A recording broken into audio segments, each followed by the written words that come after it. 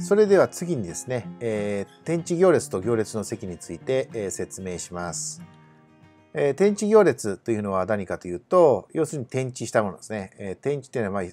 入れ替えたものですね。えー、I 行と J 列っていうのがあるんですが、それを I 列と J 行にこう入れ替えるということですね。したがって、えー、m×n 行列の天地行列は n×m 行列になります。まあ、具体例ではこんな感じですね。列ベクトルは行ベクトルに、行ベクトルは列ベクトルになります。で、2×3 行列は 3×2 行列になります。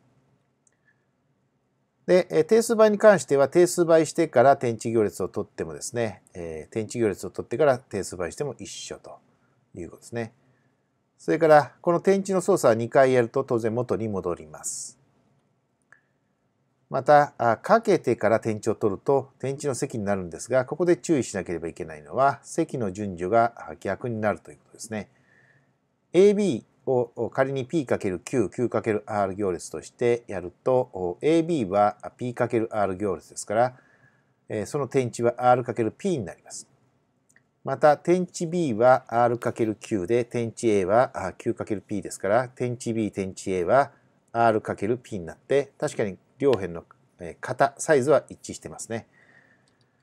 で、実際成分を比較してみると、天地 AB の ij 成分っていうのは、これはまあ天地の定義によって AB かけたものの ji 成分ですよね。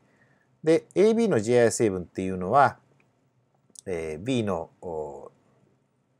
行数 A の列数が9ですから K=1 から9までの